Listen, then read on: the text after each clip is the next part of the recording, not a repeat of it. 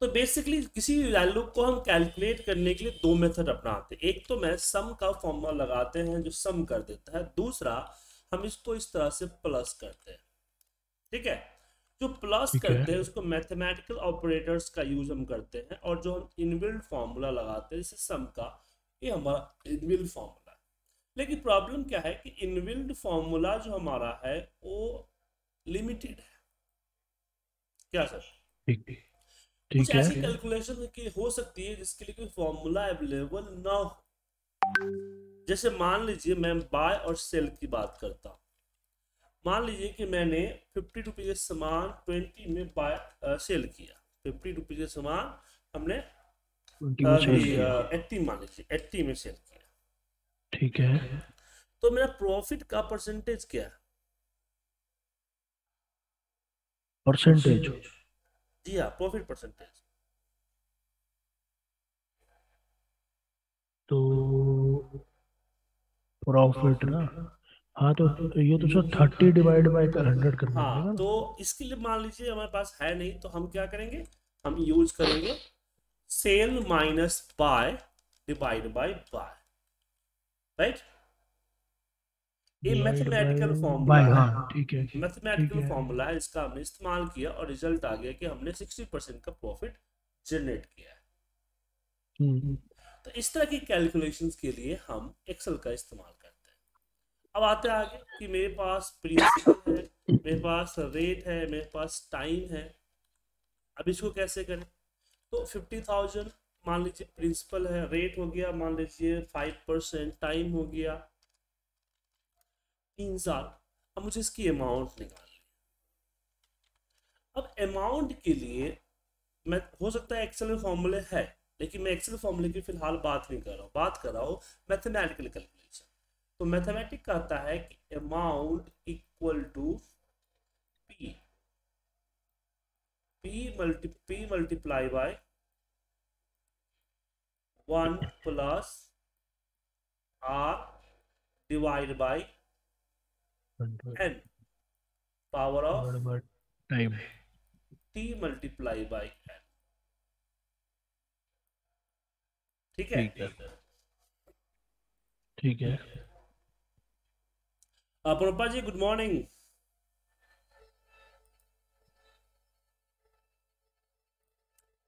अब इसको कैसे करें? तो इसको जो है हम करेंगे one by one calculate one plus R divide by N मतलब ट्वेल्व ठीक है। तो जब भी इस तरह की लंबी कैलकुलेशन हो उसको टुकड़ों में करें। जैसे हमने यहाँ पे तोड़ दिया बीच में फिर आता है T multiply by N N twelve है मन मंथली इसलिए। ठीक है। फिर इन दोनों का पावर पावर का सिंबल ए होता है। ये आपका शिफ्ट के हम्म। साथ सिक्स प्रेस कर सकते हैं। ठीक है। ठीक है। आफ्टर दैट हम इन दोनों को आपस में मल्टीप्लाई कर तो रिज़ल्ट हमारा अंठावन हज़ार समथिंग आ गया। पुनपा ji good morning good morning good morning good morning आप आपको पता नहीं था कि माइक सेलेक्ट करना है? करना था sir I using hands free तो उसमें कंफ्यूजन तो प्रणपा जी रोहित जी आपके साथ है। ये आगे कंटिन्यू करेंगे आपके साथ? गुड मॉर्निंग बीच में नहीं थे तो उन्होंने टाइम मांगा तो मैंने आपको जो पढ़ाया हुआ था वो चीज़ उनको पढ़ा दिया था। तो Correct. आगे हम कर रहे हैं। कैलकुलेशन से आगे आप लोगों को साथ कर रहे हैं ठीक है?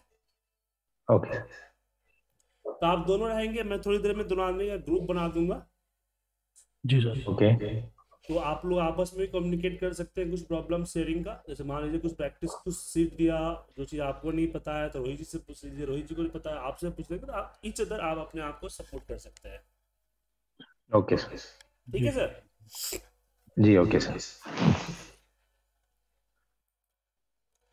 तो अब यहाँ पे हमने कैलकुलेशन तो किया बट आप देख पा रहे हैं कि हमने यहाँ पर कितना लंबा कैलकुलेशन के लिए कई सारे शीट इस्तेमाल करें बस सारे कैलकुलेशन मुझे एक जगह पे चाहिए था। हम्म। तो हमने पहले ब्रेक कर दिया अब कंबाइन करें। जैसे कि इस पे हम क्लिक कर रहे हैं तो देख रहे हैं कि ये दोनों इससे लिंक है राइट हम्म। राइट इसको सेलेक्ट किया कॉपी किया और यहाँ इस पे पेस्ट कर दिया। यहाँ डी ट्वेल्व है। डी ट्वेल्व की जगह पे हम इसको पेस्ट कर देते हैं।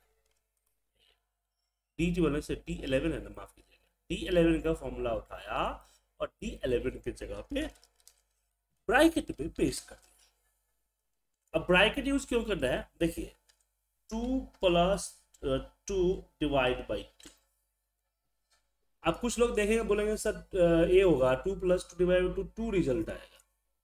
लेकिन गलत। रिज़ल्ट आएगा थ्री कैसे? क्योंकि। बोर्ड मास मेथड क्या करेगा पहले डिवाइड ठीक है ठीक है। देन प्लस करें। तो आपको टू प्लस टू फिर डिवाइड बाई टू करना है तो क्या करना होगा? इसको ब्रैकेट में डालना। समझे कि नहीं? Okay, समझ अब टू प्लस टू पहले करेगा फोर देन डिवाइड करेगा टू से।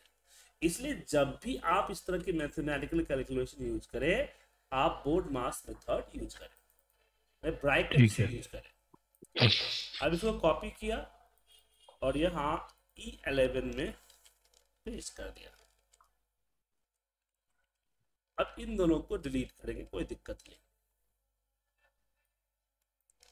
कॉपी ओके और यहाँ F11 पे पेस्ट अब इसको डिलीट कीजिए। अब इसको यहाँ से मूव कर दीजिए। कॉपी पेस्ट मत कीजिएगा। मूव कर दीजिए। कट पेस्ट या मूव कर दीजिए। हो गया सर? Okay. ठीक है। अब बोलेंगे सर ये, ये तो कोई खास नहीं था ये तो हम ऐसे भी कैलकुलेट कर सकते थे। राइट हम्म, लेकिन एक और एग्जांपल हम बताते हैं। इसको हम लोग बोलते हैं फॉर्मूला मर्जिंग मतलब एक फॉर्मूला को दूसरे फॉर्मूला के साथ मर्ज करते हैं।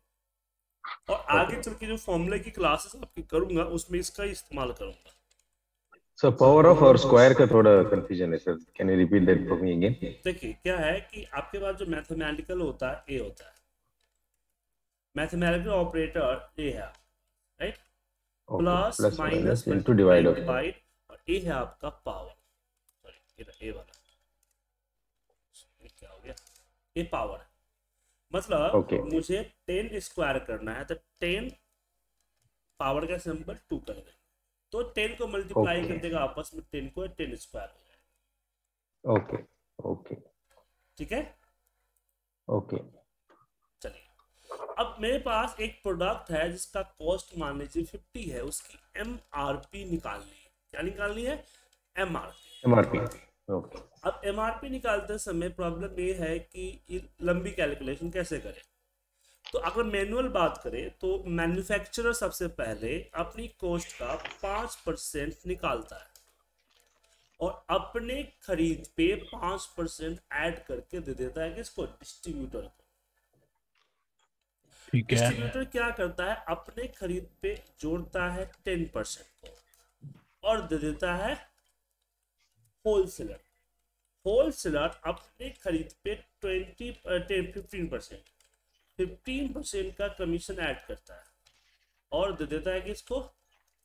रिटेलर को। रिटेलर क्या करता है? अपने खरीद का अपने खरीद का बीस परसेंट निकालता है और ऐड कर देता है। और दे देता है होलसेलर को इसको रिटेलर को। फाइनली प्राइस ये हुआ। लेकिन इतने सारे कैलकुलेशन करके हुआ। अब मुझे यहाँ एक सेल में ये चीज़ चाहिए। तो क्या करें?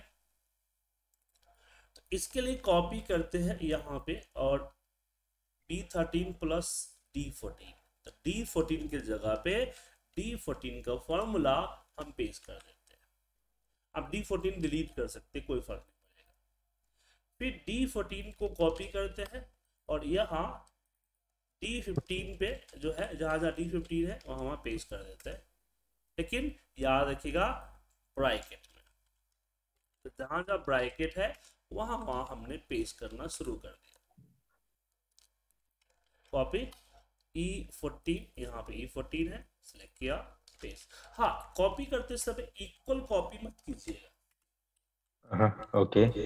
इक्वल कॉपी में दिक्कत हुआ क्योंकि एक फॉर्मूला में एक ही इक्वल होता है तो इक्वल के बाद कॉपी कीजिए स्केप मार के बाहर आइए फिर जाइए ओके Okay. अभी. Okay. Now uh, now F14. F14 has to be copied to uh, E E की जगह पे यहाँ when you हाँ click the ई cursor हमने there E forty E fifteen को कॉपी किया फॉर्मूले को और यहाँ देखे ई फिफ्टीन है है ना तो ई फिफ्टीन को डिलीट किया इसके जगह पर Okay. दिया और ब्रैकेट में उसका फॉर्मूला पेस्ट कर दिया अब मैं इसको डिलीट करके चेक किया कि मेरा फॉर्मूला चेंज तो नहीं हो रहा है फॉर्मूला चेंज नहीं हुआ Okay. रिज़ल्ट फाइनल सेम है मतलब कि ठीक है। अब इसमें देखते हैं एफ़ फिफ्टी एफ़ फोर्टीन है।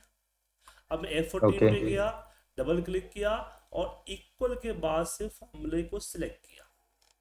कॉपी किया एस्केप प्रेस करके बाहर निकल गया और यहाँ पे गया इस पे डबल क्लिक किया 14 पे गया और इसको डिलीट किया इसकी जगह पे ब्रैकेट दिया पेस्ट किया ब्रैकेट को क्लोज किया। एंड एंटर अब मैं इसको डिलीट करके चेक कर लिया। हाँ नहीं है।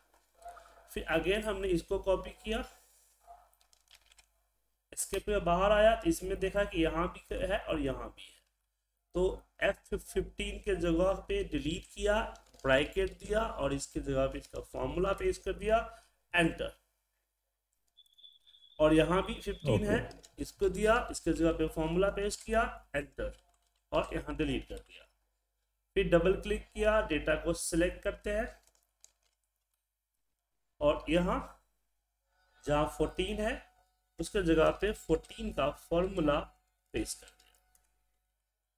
अब मैं इसको डिलीट कर सकता अब इसको मूव करके जहाँ रखना है रख दीजिए। ठीक है? ओके अब सोचिए इतनी लंबी फॉर्मूला आपसे लगती। हम्म? पॉसिबल नहीं है पॉसिबल नहीं है ना? हाँ। तो आगे चल के भी जैसे कि नॉर्मली जो फॉर्मूलेज हैं उसको भी आप इसी तरह से लगा सकते हैं। ठीक है? ओके ओके आगे भी हम सिखाएँगे आपको। और कैलकुलेशन इंपॉर्टेंट इसलिए है सर क्योंकि अ, आपके एक्सेल में ऑलरेडी बहुत सारे फॉर्मूले तो है कैलकुलेट करने के लिए। But they are sir sir अभी कोई रिपोर्ट मिला है? If I get a report if I get a report now इन्होंने अभी अपने एमआरपी से जैसे कैलकुलेट किया है what is the easy way to check that formula correct डाला है उसने। देखिए, अगर फॉर्मूला कैसे प्रोसीजर वर्क कर रहा है, उसकी प्रोसीड करने के लिए फॉर्मूला के अंदर एवलेट फॉर्मूला जहाँ आपका फॉर्मूला वन बाय वन या एवलेट करेंगे तो वर्क करेगा। देखिए वर्क कर रहा है ना? देखिए, पाँच का पाँच परसेंट निकाला, फिर इसमें प्लस हो गया। ओके। फिर चला फिर चला।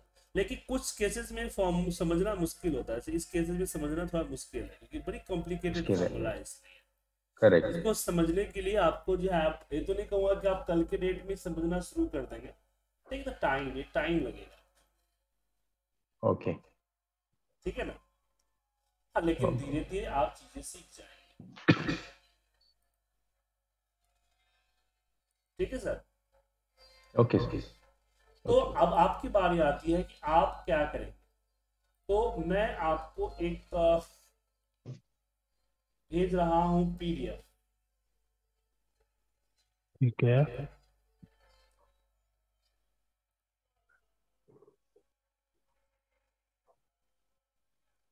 आपको एक मुरब्बा जी भेज देता हूँ। ओके।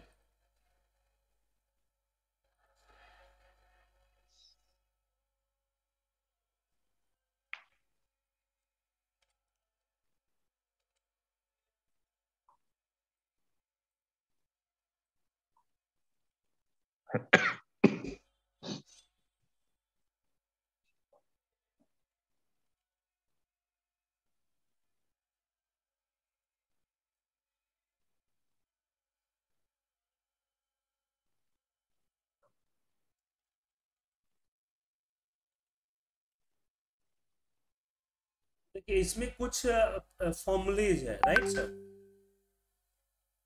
या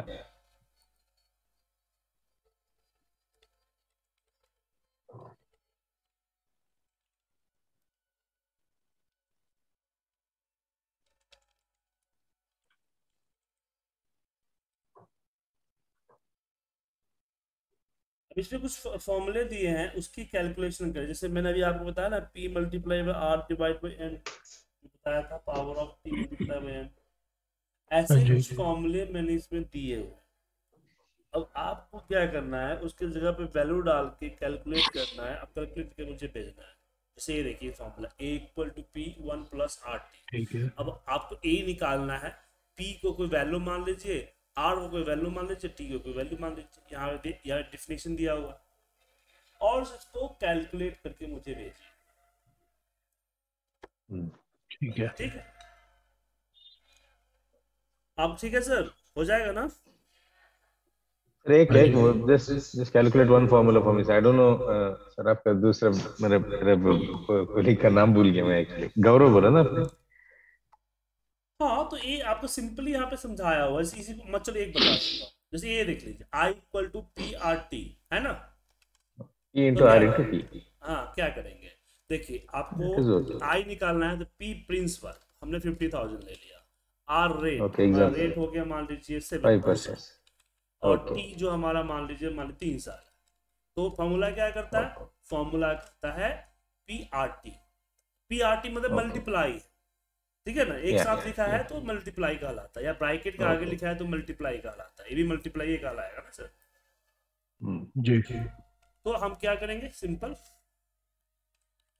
p multiply by seven multiply by निकल गया रिज़ल्ट थ्री बोला तो अभी आपने तो थ्री थ्री इयर्स लिया ना सर अभी थर्टी सिक्स मंथ्स लेना है कि थ्री इयर्स थ्री ओके समझ गया। क्या बोले sir no no month wise लेना था या thirty six time time is three years three years लेना मंथ बाई लेना है तो आठ डिवाइड बाई एन होता है ना जैसे देखिए एम होता है। यहाँ हमने आठ लेते हैं ना यहाँ पे एम हो गया। एम क्या है? Number of compound period body दिख रहा है सर तो यहाँ पे अगर P B P multiply one plus R divide by M M की जगह पे ट्वेल्व हो जाएगा। यहाँ पे. ट्वेल्व हो जाएगा। ओके समझे? तो लेट्स ट्राई Okay. बचपन की मैथमेटिक्स याद तो कीजिए कम से कम और ज़रूरी है सर